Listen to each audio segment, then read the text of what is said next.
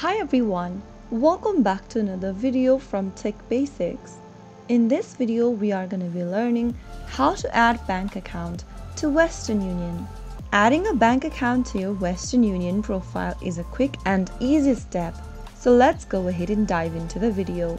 First of all, launch open a preferred web browser and go to the URL box and type in westernunion.com and search. Once you get to the official website for Western Union, go to the upper right hand corner and click on the login button. Make sure to log in by entering your credentials to end up in the main homepage for westernunion.com.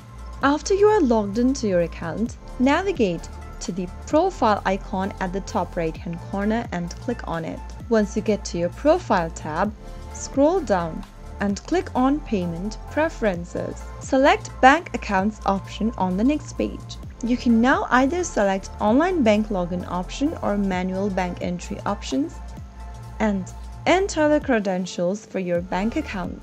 Select the bank you'd like to add from the list and then enter the required information. Now you will need to enter the login ID and password that you've selected for a particular bank. Click on the Go To button in order to access the bank's login website and enter the user ID and password associated with your bank account. You will need to verify your bank account through the verification process provided by Western Union, which may involve confirming small deposits or withdrawals.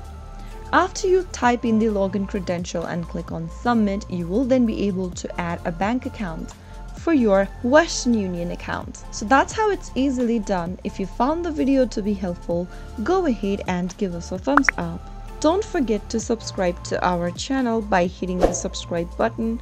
Press on the notification bell so that you'll never miss another upcoming upload from us.